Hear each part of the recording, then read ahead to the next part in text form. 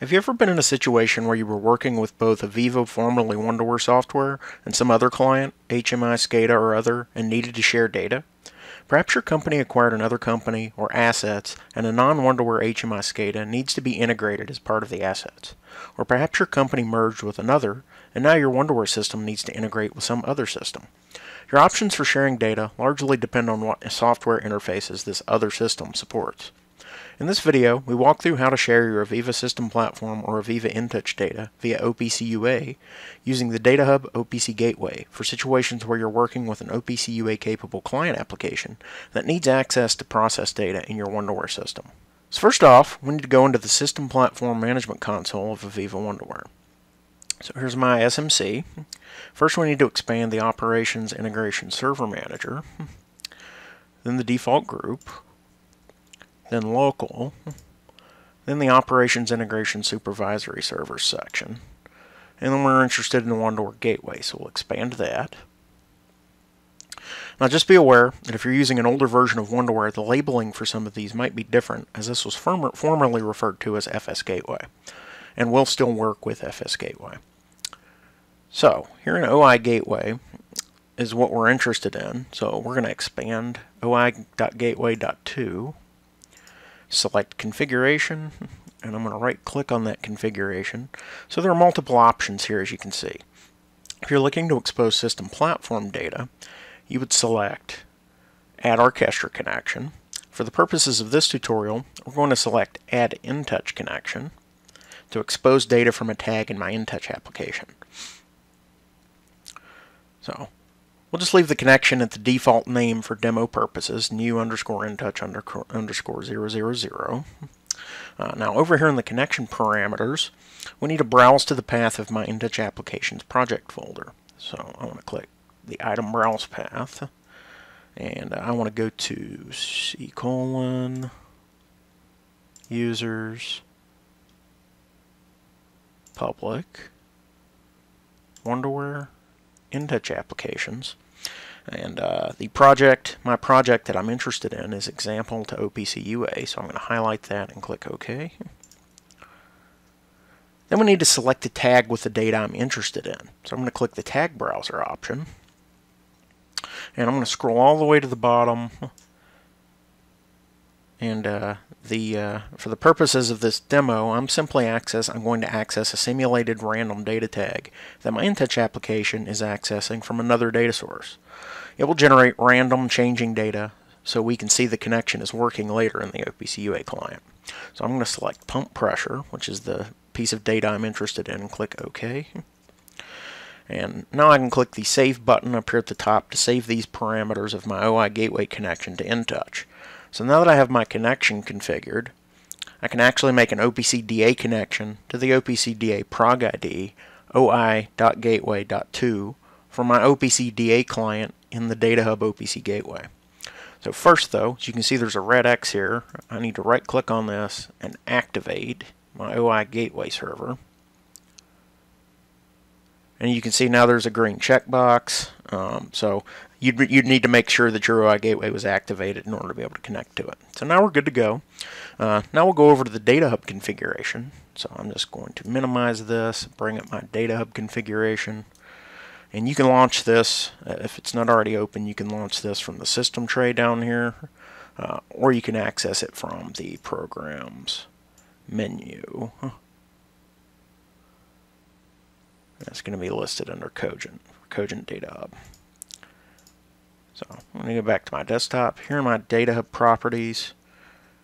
I need to go, as we're making an OPC-DA connection to the OI gateway, I need to go to my OPC-DA section. If you're not familiar with Data Hub, it can act as both an OPC-DA client and server. For this tutorial, Data Hub will be acting as an OPC-DA client to the OI gateway, as I just mentioned. Just ensure that this act as an OPC client to these servers box is enabled, now we just need to click the add button to add our connection. And I'm going to label my connection name simply InTouch. And since DataHub's on the same machine as the OI gateway, we can leave the computer name as localhost. Now if we click the down arrow for the field for OPC server name, the OI gateway uh, actually has a friendly name of simply Gateway, as you can see in this list uh, of friendly names for uh, locally installed OPC DA servers. So I'm going to select Gateway. Uh, in, in Data Hub, sets of data are organized in configurable groupings called data domains.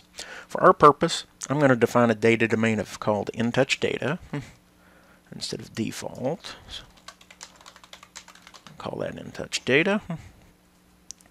Now we're going to leave all these other settings um, at the at the defaults. I'm going to go down to item selection. Rather than load all items, since I'm only currently interested in one item, I'm going to uncheck load all items. I'm going to check manually select items, and then I'm going to click configure items button. This allows us to browse the OI gateway address space. So if I scroll down, I can see my InTouch connection that we left at the default labeling, so I just want to expand that scroll down and there's my pump pressure item. So I just want to tick the box to the left of that item name. You'll see that added it to my selected items. Now I'm going to click OK. And then we can simply click OK again to finish con configuring our OPCDA client connection to the OI gateway. Uh, then I want to click the apply button to make those changes take effect in the runtime. And you can see my status up there for that client connection has just changed to running, so we're good to go there.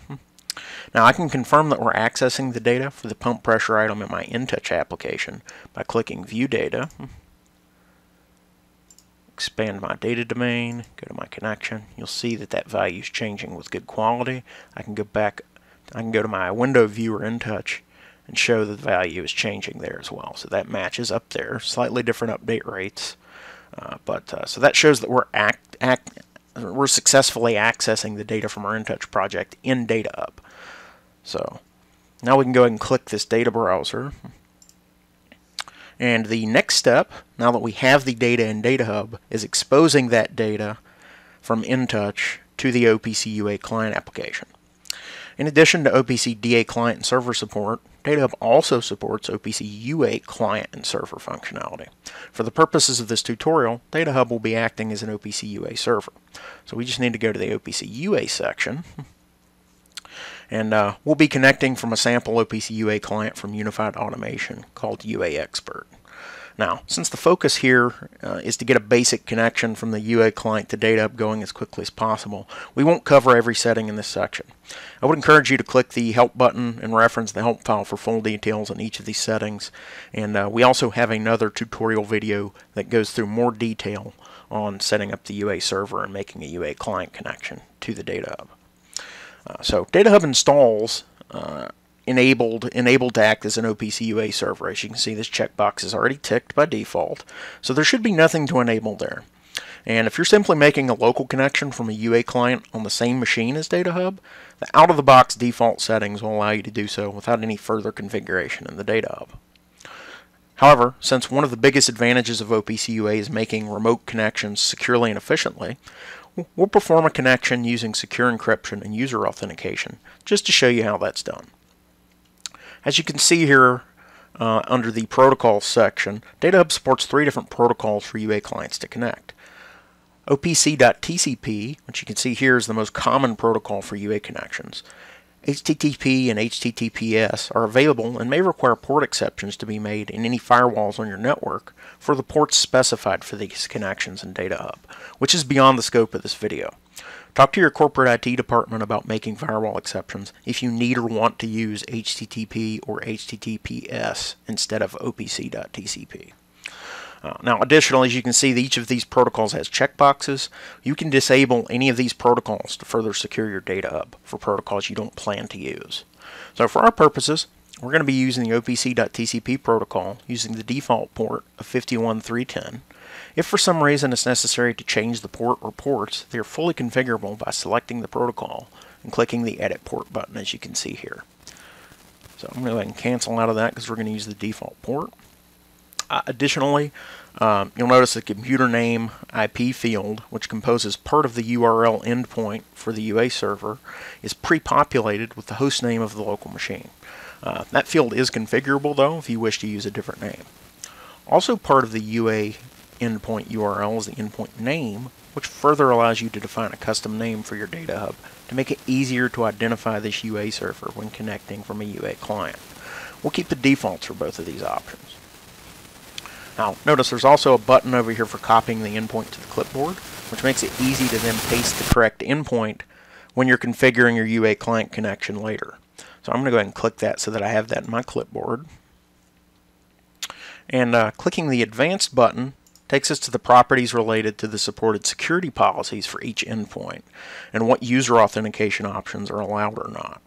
So for our purposes, we're only consider, concerned with the general section here. Uh, by default, as you can see, all security policies are enabled for use. So out of the box, we could connect using uh, basic SHA 256, um, basic 256 SHA 256, um, just basic 256, basic 128 RSA 15, or using no encryption at all. Um, since basic 256 SHA 256 is the most secure, we'll connect using that, which we'll want to remember for later when we're configuring our client connection. Now, for user authentication, all the options possible are allowed by default. Just be aware that the anonymous option that's enabled here means that any UA client could connect without requiring a username and password.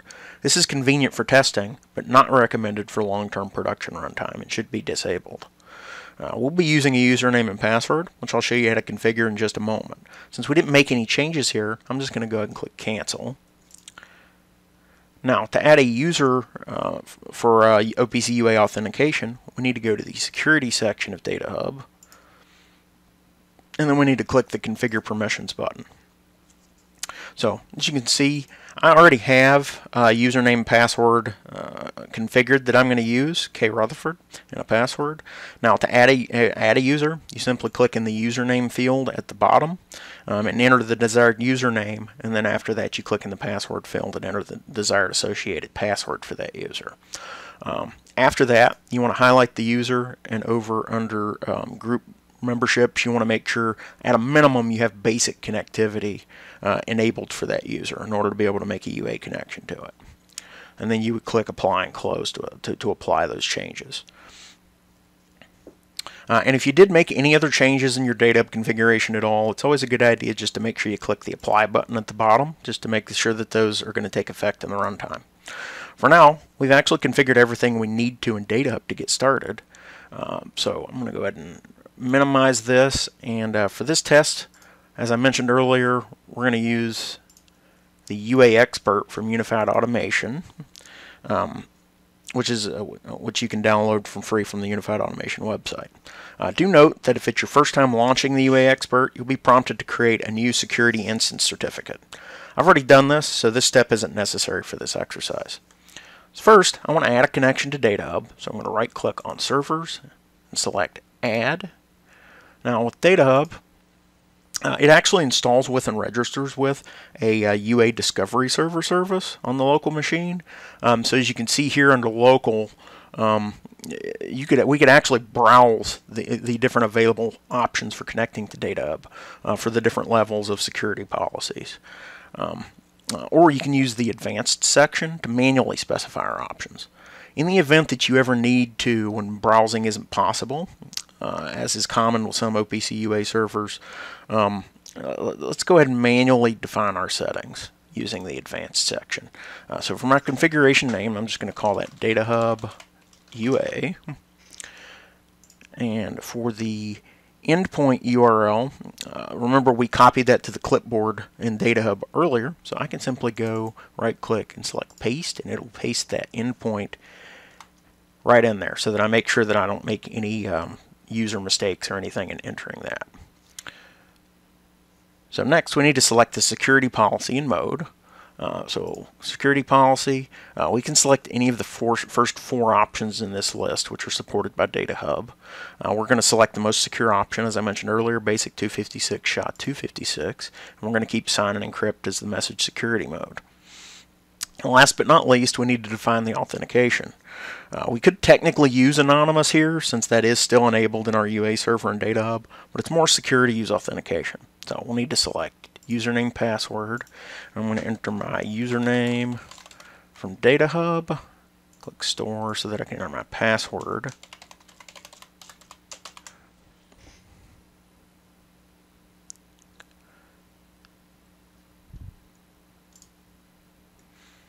Since Connect Automatically is enabled, as you can see here, uh, UA Expert will attempt to connect as soon as we click OK.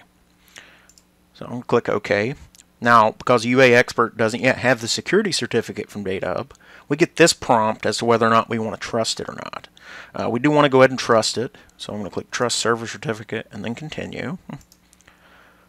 Notice though, the disconnected plug, so we're still not connected. That's because DataHub still doesn't trust the UA security certificate that UA Expert used to try to connect. So we do need to jump back over to our DataHub UA server settings. I'm going to go back over here. I'm going to go back to my OPC UA section. I'll notice down here there's a counter for rejected certificates. Notice that incremented to 1. Now, that corresponds to our connection attempt from the UA expert. We could certainly take that at face value and click this Accept All button, or if we click the Manage Certificates button here, you can see that our UA expert attempt is in the Rejected Certificate section. So I can highlight that, and I can go to click the Accept button. You see that removes it from that list. If we go up to OPC UA private certificate, you'll see it's now listed in there as an approved um, and uh, accepted certificate. So uh, now both the client and the server trust each other and we'll be able to connect. this section is also where you could choose to manually import any UA client certificates using the import button if you prefer not to have to accept rejected, certificates. Uh, simply export the certificate from UA, your UA client, and I'll show you how that's done in UA Expert when we jump back over there. And then here in Data Hub, you click this import button and browse to that certificate. Uh, now, if we go back to the uh, rejected certificates, you could also use this import button here um, if you wanted to um, import the certificates of any UA client you explicitly want to not trust, thereby refusing any connections from that client. So we can go ahead and click OK to close out of the Manage Certificates section. Um, also, if you so choose, um, you could click the application certificate and you have the option of exporting DataHub's OPC UA server certificate. Uh, if you're working with a UA um, server that or UA client that does require you to pre-import that certificate, doesn't give you the option of approving it when you try to connect. Um, so that's where you can go to do that. I'm just going to click OK to get out of that. And uh, since we've established a trust relationship between UA Expert and DataHub, I'm going to jump back over to my UA Expert and complete our connection. So back over here in UA Expert, um, first I want to show you um, where you could export the UA Expert security certificates. So go to the Settings menu, Manage Certificates, and you click the Copy Application Certificate to button uh, at the bottom, and that allows you to specify a location to save the certificate, which you could then go back over into DataHub and import as I showed you. So let's go ahead and close this and establish our UA connection to DataHub. So I'm going to right click on that connection, go to Connect, and you'll see it did successfully connect this time. Um, so now we can browse the DataHub address space. Um, so if I go to the objects section, you'll see my InTouch data data domain from DataHub available in there. I'm going to expand that. And uh, you'll see my uh, my InTouch connection and the OI gateway is listed there as a folder. So I'm going to expand that. And uh, there's my pump pressure item. I want to grab that, drag it over to the data access view. And as you can see, I'm getting a uh, getting uh, successful value changes and timestamps uh, with a good status. And if I bring up my window here, you'll see that that corresponds to the values changing in my actual InTouch application. So, as you can see, setting up connections to Wonderware data via DataHub using OPC UA is straightforward and secure. With flexible and convenient features like UA discovery and multiple transport protocols supported, DataHub is a powerful OPC UA gateway for access to a wide variety of data sources securely. Get a free trial of DataHub on our website and try it with your own Wonderware and other data sources and UA clients. As always, if you have questions beyond what either this video or the help documentation answer, don't hesitate to reach out to our support team using the information provided here.